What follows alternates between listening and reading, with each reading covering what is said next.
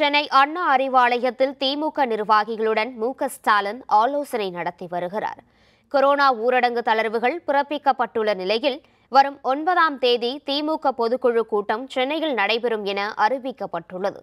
இந்த நிலையில் சென்னை அண்ணா அறிவாலயத்தில் திமுக நிர்வாகிகளுடன் மு ஸ்டாலின் ஆலோசனை நடத்தி வருகிறார்.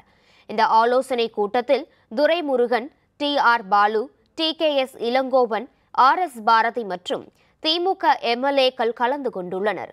வரும் ஒன்பதாம் தேதி திமுக பொதுக்குழு கூட்டம் நடைபெறும் நிலையில் இதுகுறித்து மு க ஸ்டாலின் ஆலோசனை நடத்தி வருவதாக தகவல்கள் தெரிவிக்கின்றன.